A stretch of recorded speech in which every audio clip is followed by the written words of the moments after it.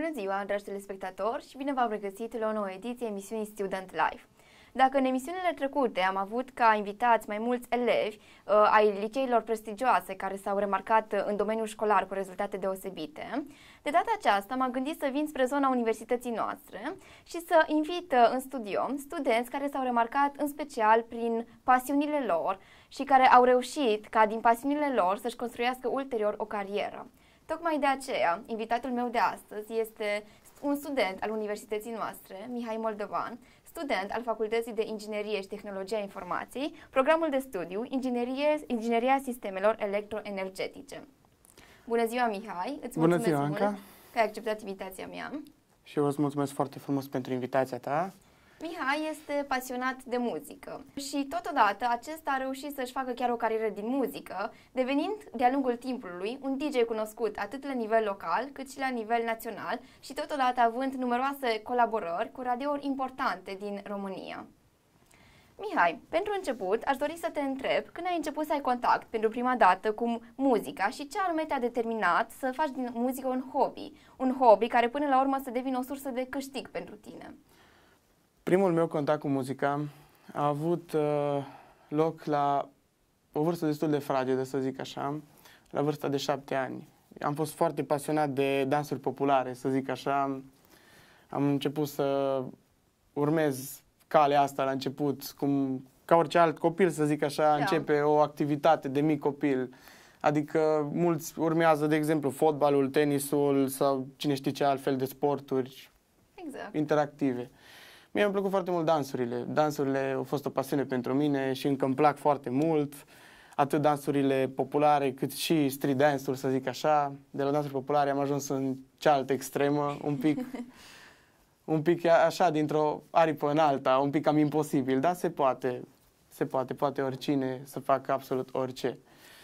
În orice caz, um, acest lucru m-a determinat foarte mult să-mi dezvolt un pic, să zic așa, pasiunea asta pentru muzică. Uh-huh. Primele mele evenimente au avut loc după mulți ani de dansuri populare. Am avut undeva la vreo 14-15 ani când am început prima dată să pun muzică la evenimente. Asta a fost vârsta. Deci a trecut ceva timp între dansuri și muzică, practic. Da, a trecut. Da. Am înțeles. A fost muzica din totdeauna o pasiune sau a devenit o pasiune de-a lungul timpului mai degrabă? Da, de când sunt mic, de am și spus. De asta am ales și dansurile populare. Adică, na, a fost un pic mai... Mihai, care a fost panta ta de lansare în această industrie a DJ-ilor? Panta mea de lansare a fost uh, colaborările mele de-a lungul anilor de când pun muzică, să zic așa. Pun, pun muzică cam de la vârsta de 15 ani, 14 ani, cam așa am început. Am început în primul rând la evenimente private, asta a fost rampa mea de lansare, să zic așa. După care a continuat și evoluția totodată. Deci încă de la 14-15 ani putem spune că ți-ai început deja o carieră în muzică. Da, da. Cât de greu a fost până să-ți creezi un nume și să devii cunoscut? Iar mai apoi, ce anume crezi că te-a motivat să mergi mereu mai departe și să devii cel mai bun în ceea ce faci? Păi pot să zic că colaborările în primul rând și oamenii din jurul meu care m-au susținut mereu și au zis că am un potențial destul de mult, în special familia familia a văzut ceva în mine și m-a motivat să merg mai departe pe area asta. Au văzut că și tatăl meu și unchiul meu și verișorul meu, care și el a fost tot în domeniul acesta acum mulți ani de zile, a zis că bă, Mihai, văd că îți place, văd că ești bun în ceea ce faci, de ce, nu, de ce să nu faci ceva cu chestia asta? De ce nu vrei să faci ceva pe lângă școală și pe lângă alte activități? Haide, încearcă. El a fost care mi-a oferit două boxe. Așa a început atunci totul. Să merg la tot felul de evenimente din astea micuțe, zile de naștere, una alta, evenimente private, să zic așa. Deci a fost de important acolo. până la urmă sprijinul părinților și toate sprijinul prietenilor. Da, bineînțeles. Fără ei poți, dar foarte greu. Ai spus mai devreme că și verișorul tău a activat în acest domeniu. Poți spune că acest verișor a fost un model pentru tine? Da, da. El m-a motivat foarte mult. De când am fost mai mic un pic, uh, undeva la 12 ani, 13 ani, chiar înainte să încep eu, el uh, era pe punctul de a renunța din cauza serviciului, locului de muncă și așa mai departe. Și eu zi, a zis că să continuăm puțin tradiția dacă tot, să nu lăsăm să se închidă orizontul ăsta Da, pe care au înțeleg. fost și să deschis. continuați până la urmă în tradiția de familie. Da, da.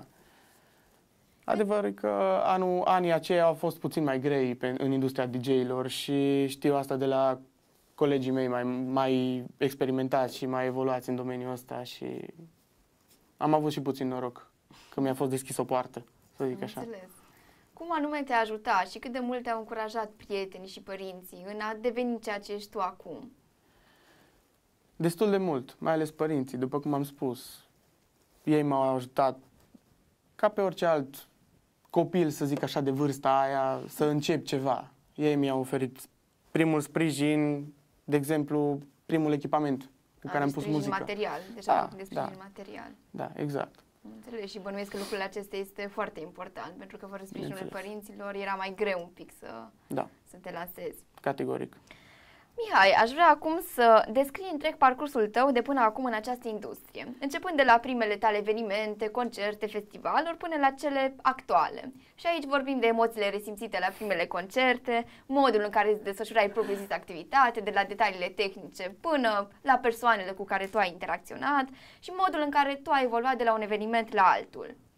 Până în momentul de față. Păi primele evenimente au fost evenimentele private. Evenimentele private au fost, cred că, începutul oricărui DJ, oricărui tânăr, să zic așa, adolescent, care vrea să activeze în domeniul ăsta.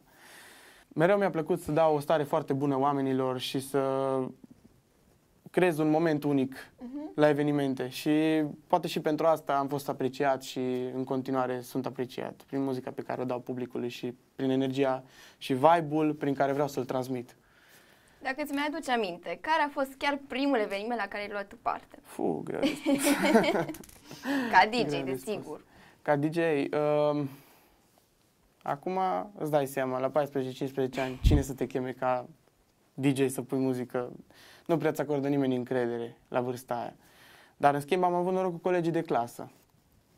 Ei au fost hotărâți, bă, noi vrem, te vrem la ziua noastră, ziua noastră de naștere, Au să zic avut așa. încredere în tine da. până la urmă. hai să pui muzică. Mhm. Și am zis că, ok, hai să vedem. Dacă vrei să pun muzică, vin să pun muzică.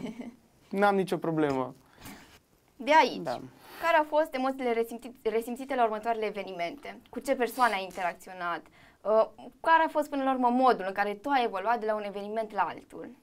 Muzica a fost uh, evoluția principală pentru mine. Asta m-a determinat să evoluez, să zic așa. Gusturile muzicale, generațiile, să zic Mhm. așa, de la an la an. Deci să zic o chestie foarte, foarte frecvent întâlnită în industria asta, de, ge- de la generație la generație, gusturile se schimbă.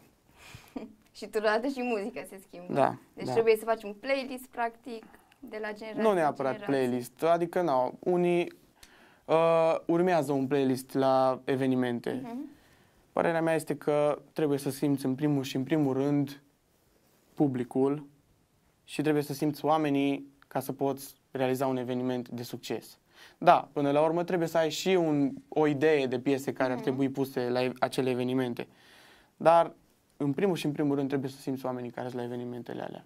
Pentru că nu poți să pui același playlist la fiecare eveniment. Fiecare are gusturile lui. Mhm. Trebuie să te mulezi după oameni, cum ar zice Înțeles. cineva. Deci e foarte importantă spontaneitatea până la urmă și Da. cum simți tu publicul. Exact, exact. Care a Asta e. fost modul tău în care ai evoluat de la primul eveniment până la evenimentele actuale și ce anume te-a ajutat să urci până la urmă pe această pantă? Experiența, poți să spui? Experiența, da, asta ar fi un, Mhm. una dintre chestii, dar și colaborările. Colaborările au fost destul de importante și ajutorul și sprijinul oferit de, ace- de aceștia și cu persoanele cu care am fost. Tot a- pe Colaborare. aceeași lungime de undă și colaborare și în continuă colaborare, chiar și acum. Ai avut parte și de momente grele, momente în care ai simțit că nu mai vrei să continui sau că îți e foarte greu și nu mai poți să continui? Sincer, chiar nu. N-am, nu am avut, nu pot să spun că am avut. Mereu am avut Mhm. parte de evenimente și, și când am simțit că, să zicem așa, weekendul acesta sunt liber, am început să produc. Pe lângă faptul că Înțeles. și pun muzică, și produc muzică. Și chestia asta mă motivează să evoluez. A, Deci, Asta practic, și te eu. dezvolți în continuu, Da, da, ceea ce e foarte bine. da.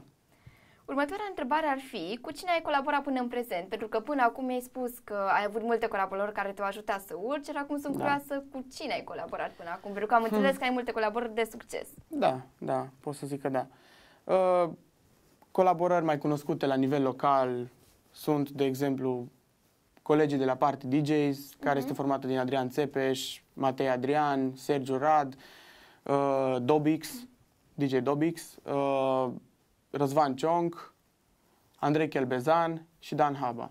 Noi suntem cam echipa Party DJs, din care fac și eu parte în, în continuare. Îs niște nume ale orașului nostru care destul de cunoscute totodată. Chiar și din afara grupului nostru am colaborat și cu uh, Vice, este un DJ la nivel local foarte cunoscut. Uh, Raul Cisar, și el este Mhm. pe evenimente private și domeniul ăsta. Uh, Thomas PCZ, după cum îl știe foarte multă lume. Aș vrea să mai menționez aici și pe cei care se ocupă puțin de imaginea mea uh, de artist, să zic așa, numele Micael. Uh, Ar fi la animații și la tot ce ține de cover-uri pieselor și logo și așa mai departe se ocupă Dimensional X Studios by Eric Lucas. Iar uh, pe parte video se ocupă Lucian Niagoescu Films. Ei sunt responsabili, ei mă pun în lumină, să zic așa, în fața oamenilor. Iar pe parte de foto, Neagoe Andrei. Deci în cercul ăsta, în Da, mare parte, da, la da. nivel local. Iar acum la nivel național, La nivel național pot să spun că am colaborări acum cu, poate s-au auzit de ei, John Deeper și Mark Ryan, care fac parte din Radio Virgin Radio România. uh-huh. Cu ei încă continui și să colaborez. Suntem în colaborare foarte bună și strânsă. Cam asta e colaborarea mea la nivel național, să zic așa. deci un cerc destul de larg până la urmă. Da, da. Cum ai reușit să obții toate aceste colaborări de succes? Păi știi cum e, internetul de fapt acum ne dă foarte multe chestii și dacă știm să ne folosim de el, poți să evoluezi foarte bine și poți să te dezvolți pe toate planurile, nu neapărat pe muzică. Așa că promovarea până la urmă contează foarte, foarte, bine, foarte mult și Am înțeles. Tu cum anume reușești să te promovezi? Ai o pagină de Facebook sau unde anume îți desfășori această promovare? Da, am o pagină de Facebook, am, am făcut uh, chiar acum și perioada asta pandemiei, care a fost destul de grea pentru toată lumea, am făcut și live stream-uri și Deci ai reușit să te menții Da. activ, da, practic. da, da. A, ceea ce Mixuri, piese, am, acum mai ales lucrez și la un album și vreau să-l scot cât mai repede tot. Am scos acum două piese, urmează perioada asta și a treia piesă și continui încă în continuare să produc și să încerc să dau un vibe bun oamenilor care mă ascultă. Deci înseamnă că și pe timpul pandemiei ai fost foarte activ, Da, îți urmezi pasiunea în continuare și încerci să faci o carieră cât mai uh, fructificată din, din industria muzicii până la urmă. da, da. Am înțeles, foarte frumoase gândurile tale și modul în care ai evoluat până la urmă, de la 14-15 ani, la colaborările tale de acum și încă cu siguranță vor, mai- vor mai urma pentru că te văd foarte determinat. E un lucru foarte bun și foarte motivant pentru alte persoane până la urmă. Următoarea întrebare ar fi, la ce evenimente, concerte, festivaluri ai luat parte până acum? Pentru că te văd foarte activ pe pagina de Facebook și văd că tot timpul povestesc faptul că ești la un eveniment, ești la un concert, ești la un festival. Păi, festivale, nu pot să zic că din cauza pandemiei, un pic uh, a fost cam greu să particip la invitațiile Uh-huh. care le-am avut Da, pe anul lansate. acesta. Uh-huh. Dar uh, la ce am participat și la ce mi-a plăcut foarte mult a fost chiar festivalul Universității noastre Medifan. A fost un festival super fain și în continuare sper să fiu invitat. Pentru că o să siguranță. fiu deschis și o să vin oricând. Care a fost experiența ta cea mai frumoasă din industria muzicii care te-a marcat? Un eveniment frumos, un festival care pot spune că a fost mai special decât celelalte. Și de ce? Sincer, după cum am spus, Medifan. Deci A fost- acesta ar fi din da, interiorul da. universității noastre. Exact. N-ai cum să iubești ceva, mai ales pe plan local. Când vezi că se face ceva foarte fain pe plan local și mai ales că și pe plan universitar, Uh-huh. e o chestie foarte faină și mai ales când faci și tu parte din universitatea asta și vezi că se face ceva foarte fain, nu poate fi nimic mai fain ca asta. Exact, și nu ai cum să nu iei parte până la urmă. Mai Da. ales fiind și student aici. Da. Am înțeles. Um, povestește-ne mai pe larg despre un festival, un eveniment mai aparte la care ai luat parte, iar mai apoi cum crezi că te-au ajutat toate aceste evenimente la care ai luat tu parte în dezvoltarea ta personală? Păi, un eveniment foarte important, ți-am spus deja, Da. ți-am răspuns și la întrebarea asta. Uh, Restul ar fi că la aceste festivale și la anumite partiuri și petreceri de, stu- de studenți la care am avut parte, m-au ajutat în a fi cât mai cunoscut la nivel local și în a mă promova ca DJ și a reuși să evoluez și pe plan muzical și pe toate planurile în industria asta. După cum am spus și la început, Mihai este student la inginerie. Iar acum întrebarea mea este, cum ai reușit să îmbini facultatea la care studiezi tu, adică ingineria, cu muzica? Cum ai reușit să împletești cele două domenii, ca să spun așa, și să-ți organizezi timpul într-un mod cât mai productiv? Ingineria, să știi că are un pic de legătură cu, cu muzica. Mhm. Deoarece, totuși, la profilul meu în care Din care aparțin, faci parte, da. din care aparțin, uh, un pic și studiază chestiile audiovizuale, să zic așa. De exemplu, ca să-ți dau un exemplu după care toată lumea se ia și așa mai departe, ceva să fie și tehnic, frecvențele audio.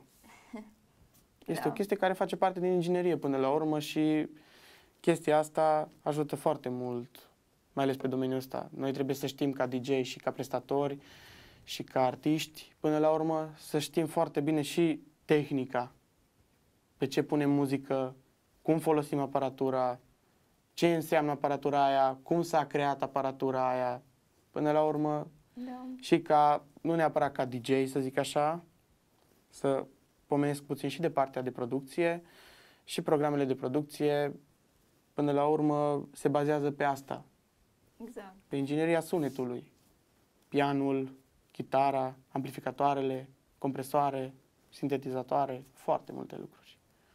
Programele de muzică. Toate au câte o parte tehnică care trebuie să știi. Alții nu neapărat au studiat ingineria, dar se pot învăța și separat, nu neapărat la o facultate sau Am înțeles. Dacă tot ai pomenit de tehnică, a fost cineva care te-a ajutat la început Da, pe Părinții partea mei. tehnică? Părinții Mhm. mei, după cum am și spus, primele evenimente, ei au fost cei care m-au susținut și mi-au oferit, vorba aia, două boxe cu care să încep tot. De acolo m-au lăsat să mă descurc singur. Ai putut de-a lungul timpului să achiziționezi aparate mai performante? Da, bineînțeles, Mhm. de-a lungul anilor îți dai seama că trebuie să faci și schimbări ca să poți să ajungi și la altfel de evenimente, nu doar evenimente mic, mici, să zic așa. Da, am reușit să-mi achiziționez aparatură nouă, am evoluat și pe partea asta, da. Deci continui să te dezvolți, practic. Da, cam asta am în plan. Fiind student, ai un moto după care te ghidezi în viață sau anumite modele pe care le urmezi? Păi, oricine trebuie să aibă până la urmă un model în viață. Nu trebuie să renunți absolut pentru nimic în lume la visul tău și să continui să perseverezi în ceea ce îți place și ceea ce dorești să devii. A- Ăsta e motoul meu după care m- mă ghidez, să zic așa. Deci să crești tot timpul. Să crești tot timpul, să te dezvolți și să-ți placă ceea ce faci. Să iubești ceea ce faci, scuze. Da, da, e foarte important pentru Da. că, uite, cum ai spus și tu aici, atunci când te duci la evenimente, nici, nu te, nici nu simți practic că mergi la muncă. E până la Da. urmă o plăcere, tu te simți bine. Da, absolut. Trece timpul, mai ales când, când faci ceea ce îți place, deci nici n-ai idee cât de repede trece timpul. Foarte, foarte repede. Da, deci asta ar fi încă un impuls pentru studenți de a-și fructifica pasiunile și de a merge Bineînțeles. mai departe cu ele, pentru că atunci când iubești ceea ce faci, practic nu simți că tu muncești, tu faci lucrul acela din plăcere, iar timpul va trece foarte repede, nu vei fi stresat niciodată, deci uh, e, e chiar foarte bine să faci ceea ce îți place și să-ți urmezi tot timpul visul. Deci frumoasă încurajare și frumos gând pentru studenții și chiar elevii care ne urmăresc acum și care probabil uh, vei funcționa și pentru ei ca un model în viață. Următoarea întrebare ar fi, ce planuri de viitor ai? Și dacă ai vrea să continui mai departe cu muzica, Bineînțeles că aș vrea, adică din moment ce am avut parte de atâta muncă și atâta dezvoltare și așa mai departe, cât pot și cât pot să le îmbin și ingineria Mhm. și muzica, da, chiar aș vrea să continui și vreau să mă dezvolt atât pe plan național, local, cât și internațional, dacă se poate, bineînțeles. Deci acesta ar fi scopul tău cel mai înalt, practic, să Da. ajungi cunoscut și la nivel internațional. Da, da. Am înțeles. Pentru că ne apropiem de final de emisiune. Avea un gând pe care ai dori să îl transmiți studenților, elevilor care ne urmăresc acum sau chiar mulțumiri? Uh, sincer, cea, un sfat, să zic așa, Mhm. care aș putea să-l ofer ar fi să îți urmezi visul și să nu te dai bătut absolut niciodată. Și când crezi că nu mai poți, continuă, l- muncește și fă, Fă, tot fă din timpul- chestia asta ce-ți place chiar un stil de viață. Asta pot să zic. Am înțeles. Mihai, eu îți mulțumesc mult că ai acceptat invitația mea. Eu sunt sigură că ai impulsionat cu siguranță mulți studenți să-și urmeze visul și să continue să-și urmeze pasiunea, chiar dacă la început nu pare ceva din care și-ar putea câștiga traiul, dacă perseverează și dacă muncesc greu așa cum ai făcut tu, demonstrezi că se poate, practic. Și ești un bun exemplu. Tocmai de aceea te-am și chemat, pentru că știam că ai pornit de jos până la urmă, dar de-a lungul timpului ai reușit să te ridici singur. Și asta e un lucru foarte important. Faptul că perseverezi tot timpul și faptul că muncești din greu pentru a atinge scopurile cele mai înalte pe care ți le-ai propus. Îți mulțumesc și ție de invitație și să sperăm că în viitor să ne mai întâlnim și la... Cu siguranță și cu siguranță universitatea te va invita și la celelalte evenimente pe care le organiza în calitate de DJ, desigur, sau inginer de sistem, O în să- momentul în care termini facultatea și începi să profesezi. O să accept cu drag toată, cu, și cu toată sinceritatea invitația. Mulțumesc încă o dată și îți urez mult succes în ceea ce faci și multă determinare și motivație în continuare. Îți mulțumesc frumos! Dragi telespectatori, vă mulțumesc mult că ați fost alături de noi și vă invităm în continuare să vizionați și celelalte emisiuni ale noastre. Vă mulțumim mult! La revedere!